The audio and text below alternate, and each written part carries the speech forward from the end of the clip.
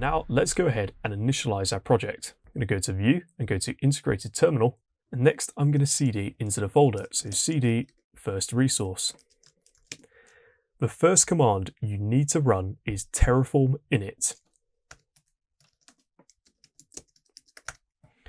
What this will do is initialize our project. It's going to pull in the plugin for our provider and it's also going to set up our state file. Awesome. Now we've gone ahead and initialized our project, let's have a look. If you want to learn Terraform in depth with hands-on challenges and even get certified, make sure to go to warp-9.com.